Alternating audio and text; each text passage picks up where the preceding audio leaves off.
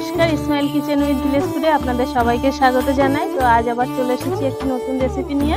তো আজ আমি বানাবো ক্ষীরের ল্যাংচার একটি রেসিপি তো ক্ষীরের ল্যাংচা কীভাবে আমি বানাবো? প্লিজ বন্ধুরা, ভিডিওটি প্রথম থেকে শেষ পর্যন্ত দেখবেন। তাহলে চলুন, রান্নার কাছে চলে যাই। তো আমি রান্নার কাছে চলে এসেছি। তো এই যে ক্ষীরটা বানানোর জন্য আমি এখানে এক লিটার দুধ নিয়ে এসেছি। আর বাদ বাকি যে ইনগ্রিডিয়েন্টস লাগবে, আমি সব কিছু এখানে নিয়ে নিয়েছি। তো চলুন তাহলে প্রথমে আমি উনুনটা ধরিয়ে নিই।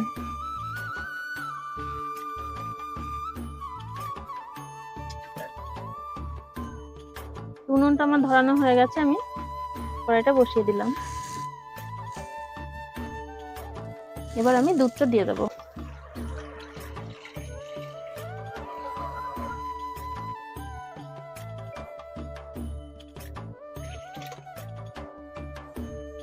এই পরিমাণ দুধে আমি দিয়ে দিয়েছি।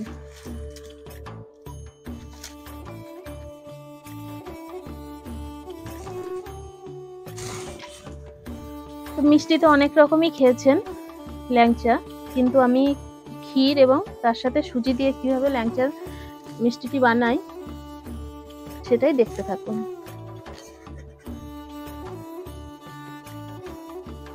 তো আমি এখানে এক লিটার দুধ নিয়েছি। দুধটা আমি খুব ভালো করে জাল দিয়ে ক্ষীর তৈরি করে নেব। একই রকম ভাবে নেড়ে যেতে হবে যাতে উপরে সর না পড়ে। এইভাবে আমি নাড়তে থাকব। বাবান চলে এসেছে, খেলা করছিল ওইদিকে বাড়ির মধ্যে। তো চলে এসছে, সন্ধান পেয়ে গেছে, মা ওখানেই আছে। তাই তো বাবা, তুমি সন্ধান পেয়ে গেছো? যে মা ঠিক ওখানেই আছে?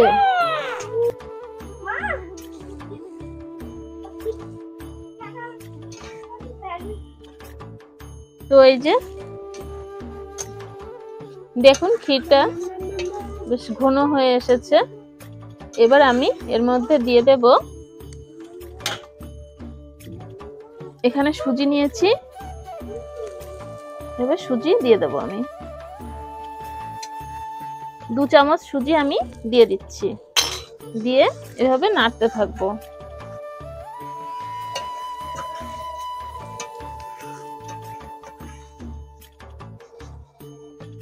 আর দেব আমি এক চামচ ঘি।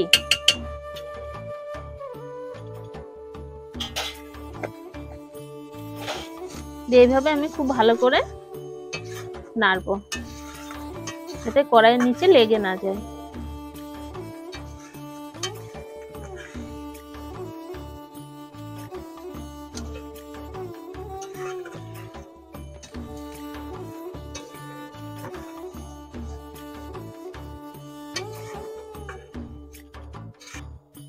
তো এই যে অল্প আছে, এইভাবে নাড়তে নাড়তে ডোটা আমার প্রায় রেডি হয়ে এসেছে, আর অল্প একটু নাড়লে এটা হয়ে যাবে।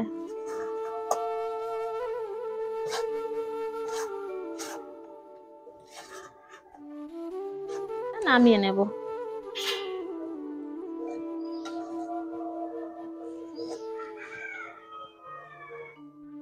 একটু ঠান্ডা হতে দেবো।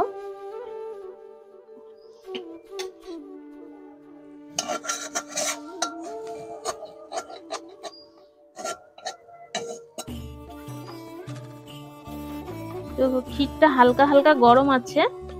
আমি এর মধ্যে দিয়ে দেব এক চামচ পরিমাণ ময়দা।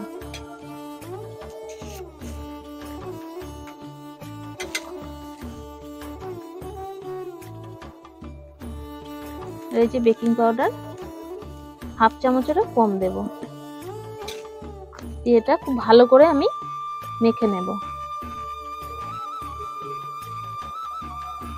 মাখতে গেলে হাতে একটু লেগে যাবে। অসুবিধা নেই কোনো।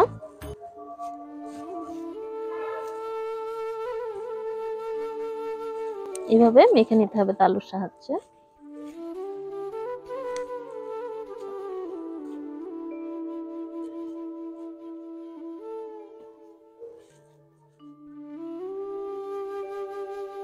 তো দেখুন, থালায় আর লেগে যাচ্ছে না। ডোটা আমার খুব ভালো করে মেখে নেওয়া হয়ে গেছে। এবার আমি একটু ঢাকা দিয়ে রেখে দেব। এবার ঢাকা দিয়ে আমি দশ মিনিটের জন্য রেখে দেব। তো দশ মিনিট হয়ে গেছে, আমি এবার এটা তুলে নিচ্ছি। তো হাতে সামান্য আমি সামান্য ঘি একটু লাগিয়ে নেব।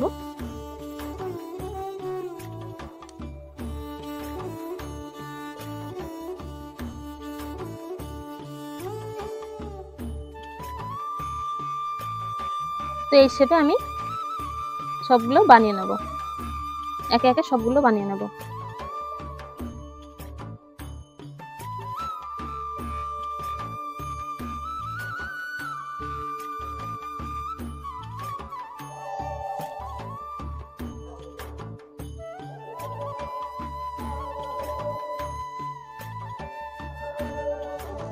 তো একে একে আমি মিষ্টিগুলো সব বানিয়ে নিয়েছি।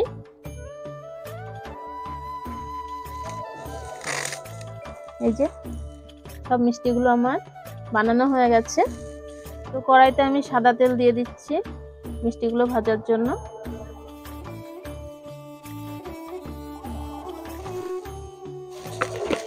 হয়ে গেছে, আমি এবার একে একে মিষ্টিগুলো তেলে ছেড়ে দেবো।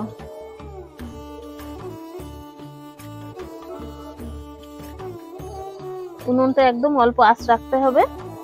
বেশি জাল দেওয়া যাবে না।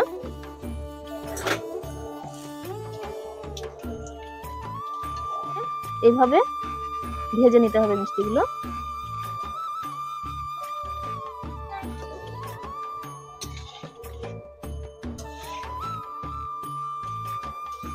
তো দেখুন, এইভাবে হালকা আছে লালচে করে ভাজতে হবে আস্তে আস্তে।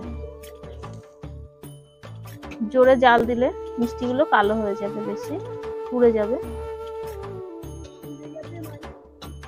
ভেজে নিয়েছি।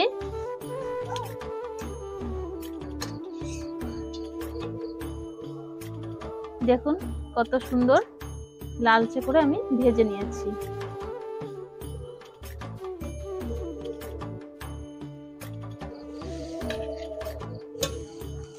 তো আমার সব মিষ্টিগুলো ভাজা হয়ে গেছে। আমি এক বাটি চিনি এখানে দিয়ে দেব।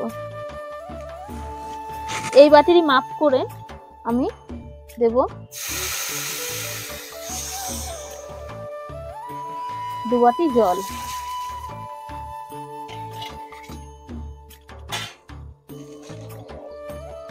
দুটো এলাচটা না আমি মুখ ফাটিয়ে দিয়ে দিলাম। দিয়ে জলটা আমি রসটা ফুটে গেছে।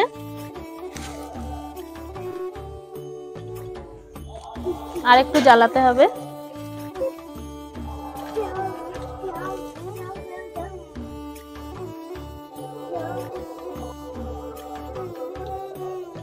তো হালকা একটু চিটচিটে ভাব এসছে। এবার আমি মিষ্টিগুলো একে একে দিয়ে দেব।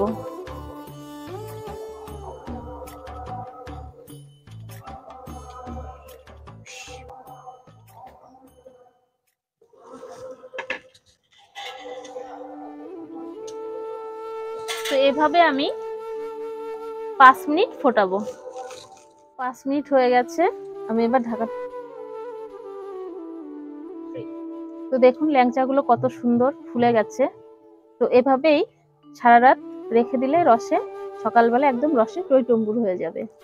তো আমি এটাই একটা কেটে দেখাচ্ছি যে কত সুন্দর হয়েছে ল্যাংচাগুলো। তো আমার এই ক্ষীরের ল্যাংচা রেসিপিটি রেডি হয়ে গেছে। দেখুন কত সুন্দর হয়েছে দেখতে। খেতেও দারুণ টেস্ট যেহেতু এটা ক্ষীর দিয়ে বানানো, তো আমার ছেলে তো খাওয়ার জন্য বসে রয়েছে, ওকে একটা দেব।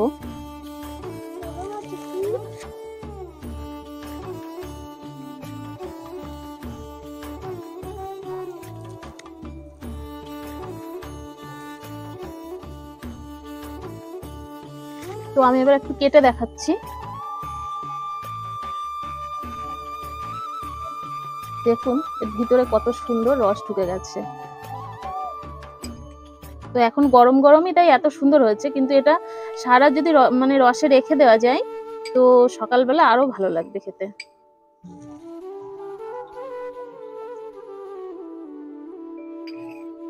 দাঁড়াও, দেখে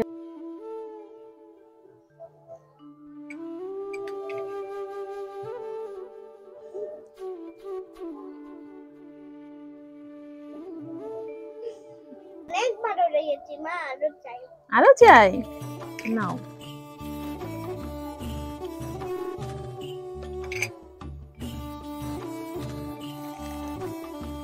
তো আমার মিষ্টি বানাতে বানাতেই তো সন্ধ্যা হয়ে গেল। ভালো লেগে থাকে রেসিপিটি অবশ্যই আমার পাশে থাকবেন। আপনাদের ভালোবাসা এবং সাপোর্ট ছাড়া এগিয়ে চলা অসম্ভব। প্লিজ আপনারা পাশে থাকবেন। অনেক ভালো থাকবেন সবাই। নমস্কার।